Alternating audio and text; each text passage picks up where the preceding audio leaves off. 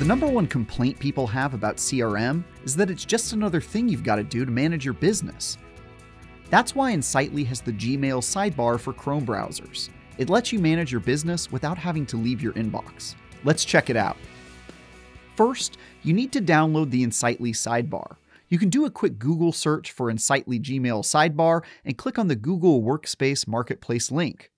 From there, you'll click Install and then Continue. You'll then need to sign into Google with your credentials. One thing to remember is that you must use the G Suite account that you used to sign into Insightly to access all of the sidebar's features. You will not be able to access all features if you use a different G Suite account or if you are a non G Suite user. Once you give Insightly permission to access your Google account, you'll close out of that tab and reload Gmail. In your Gmail application, look for the Insightly logo on the plugin sidebar on the right hand side of the screen. This will open up the Insightly Gmail sidebar, which will contextually populate with information that's useful for you. Once you get your sidebar installed, you can begin using it to access your data with Insightly. Here I have an email from Tony. When I open that email and navigate to the sidebar, I'll be able to see that Tony is not currently a contact.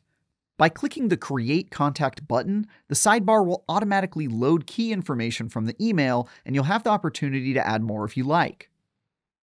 And there you go. Your contact is now an Insightly CRM without needing to switch tabs or log into your account. Now that we have an official record in Insightly, your next step may be to create a task or link an opportunity associated with that record. For example, in this email, the client wants to move forward with a dance video, so let's add a task for me to send him a contract. I'll navigate back to my sidebar, click on Activity, then select Add Task from the drop down menu. Doing so will open a tab in my browser for me to create a task, which will automatically link to the contact because I created it while I was viewing the contact.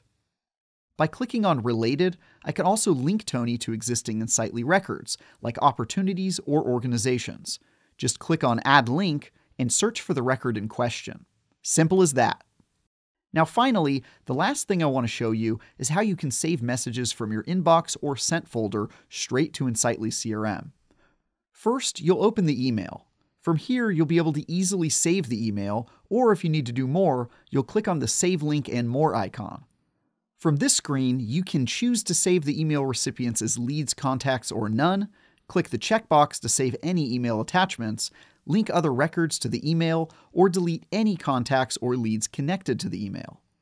When you're finished, click Save and you'll see a message confirming the email has been saved.